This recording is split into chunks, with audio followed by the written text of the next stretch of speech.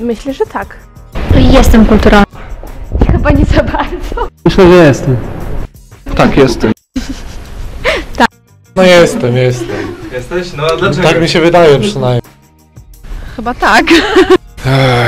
Trudno mi powiedzieć, szczerze mówiąc, nie jestem zbyt obiektywny, żeby mówić o sobie jako- jako o człowieku kulturalnym, no ale wydaje mi się, że tak. Yy, mówię dzień dobry. Yy, jestem jakoś tak bardziej nastawiona do ludzi starszych w pozytywny sposób.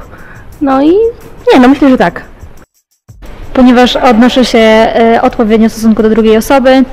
Mówię dzień dobry, do widzenia, dziękuję e, oraz e, wszelkiego typu gesty w formie podziękowań czy też przywitań. Bo jestem dobrze wychowany. A ty masz czy w teatrze, w kinie? E, Nie bardzo. W kinie tak. No chodzę do opery, do filharmonii, kina.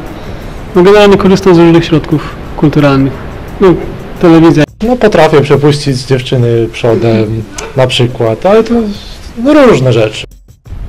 Miła, uprzejma, jestem grzeczna, nie, nie przyklinam, nie wyzywam. A w sensie takim, że Dobrze się zachowujesz. czas? Dobrze się zachowuje koleżanka. takim kult, Halo? Jesteś kulturalna? tak. A dlaczego powiedz mi? Zachowujesz. Jeszcze raz. Bo się dobrze zachowujesz. Tutaj znowu odzywa się, że tak powiem, moja skromność i no i też trudno mi o tym mówić.